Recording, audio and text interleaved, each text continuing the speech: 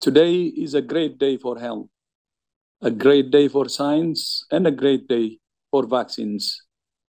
I offer my warmest congratulations to Dr. Katalin Karikó and Dr. Drew Weissman, who today won the Nobel Prize in Physiology or Medicine for their work in developing the technology that led to mRNA vaccines against COVID 19.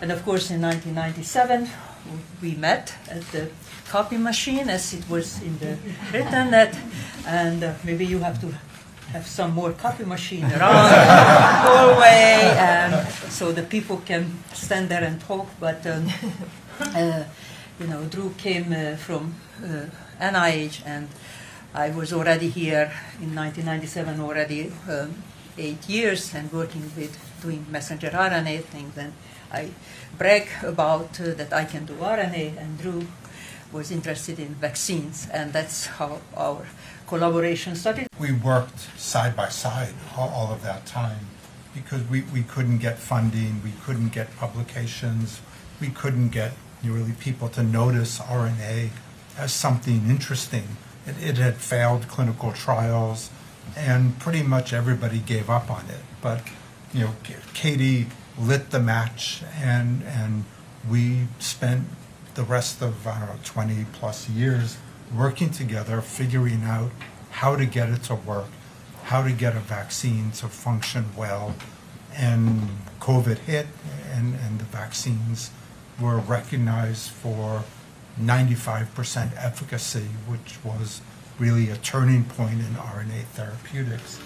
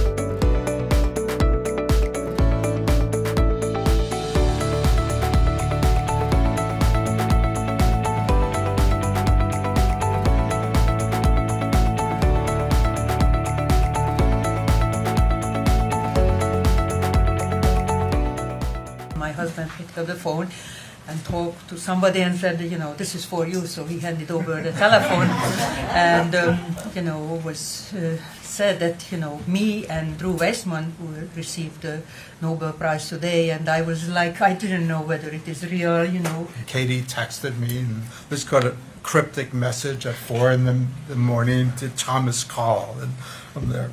Thomas. So I, I, I Thomas texted who? her back and said, "No, who's Thomas?" And, she says, "Nobel Prize." And and then we said, "You know, th- th- this has to be a prank. Some some anti-vaxxer is, is is you know playing with us, and you know th- this can't be real."